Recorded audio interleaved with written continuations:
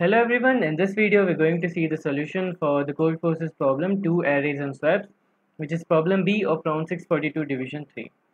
So basically in this problem we're given two arrays A and B both have positive integers and we're given an integer k. So between these two arrays we can swap any two numbers. So uh, as it says we can swap A2 with B2, we can swap A3 with B9. So any number from A we can swap with swap with any number from the array B. Now what we want to do is we want to obtain the maximum possible sum in the array A. So we want to maximize the sum of array A and what we can do is in one move we can swap any number from the array A with any number from the array B. One more thing is there we're only allowed to use k such moves. So you can think of it as we have to maximize the sum of array A and we can swap k elements from uh, we can. We don't need to but uh, we no more than k swaps. Swap from uh, a, uh, a number from A and swap it with number B.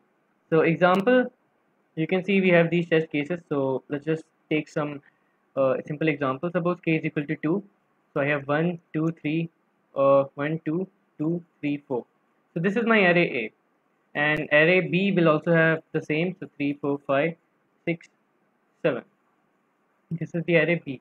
K is equal to 2 so what we can do in A is we can swap this one with 7 so this will give me 7 we can swap this 2 with 6 so 6 then 2 3 4 so with uh, with within k swaps within two swaps we made our array a as this and this is the maximum this will give me the maximum sum of the elements of array a. So how are we approaching the problem? So the method is obviously greedy here but we need to make sure of one thing. So we want to find the maximum k elements from the array b and we have to replace them with the minimum k elements of array a why? Because if we find the maximum elements of array B and we replace them with random elements from A, then we may lose some elements which would have contributed more to the sum.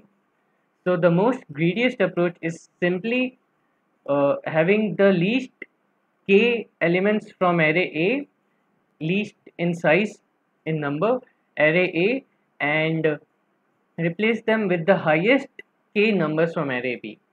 So, so for that we need to simply sort A and sort B in descending order. So let's do that. Let's sort A. So A will be 1, 2, 2, 3, 3, 4. B in descending order will be 9, 8, 7, 6, 5 and 2. Now K is equal to 3 so we can replace the first three elements from A into B. So 9 this will become 1. So this will become 8 this will become 2 this will become 7 this will become 2 so this will be this will give me the highest sum possible for a. So what we need to do simply is sort a sort b in descending order and swap the first k elements of a and b. So simply we have to do that only.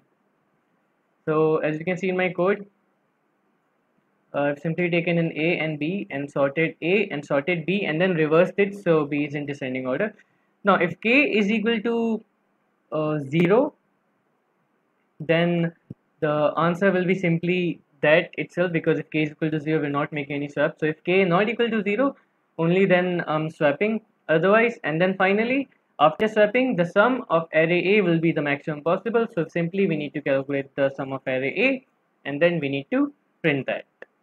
So that's it. We just simply used uh, needed a greedy approach and we did that using sorting and taking the least k elements from A and the maximum k elements from B and swapping them. So that's all. Thank you.